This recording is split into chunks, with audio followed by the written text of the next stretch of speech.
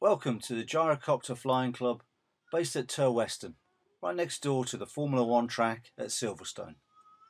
Gyroplanes mean flying in the purest sense. They offer a unique freedom with unsport views, superb stability, and combine that with a great speed and range, and they give pilots the real possibility of adventure.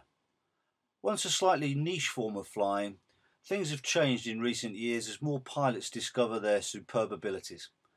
And as more people learn to fly them, more people get to see them, and the enthusiasm for these versatile aircraft is growing. I'm making a series of short films about flying gyroplanes. This one is a more general overview of gyroplanes in the UK, but others will be focused upon specific flying techniques presented as they might be at a pre-flight briefing at our flying school in Turweston.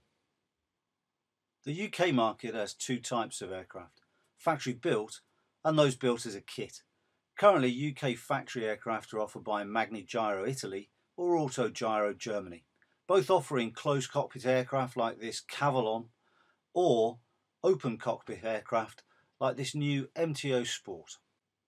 There is a huge variety of kit-built gyroplane, although whilst they add to the rich and diverse tapestry of gyroplane engineering, and at the same time huge fun, sadly most are not possible to fly in the UK.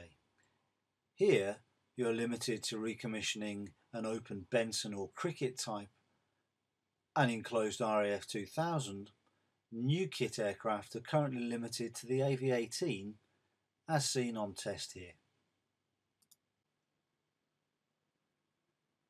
In the UK, gaining a gyroplane licence has become easier as increased popularity has also seen increasing numbers of instructors. If you're a new pilot, 40 hours training is required with existing licence holders getting up to 15 hours of credit. There's a link in the description of this video to relevant gyroplane material and I hope this short insight motivates you to get involved. Your only regret will be that you hadn't started sooner. Look out for future instructional videos from the Gyrocopter Flying Club and in the meantime, please fly safely.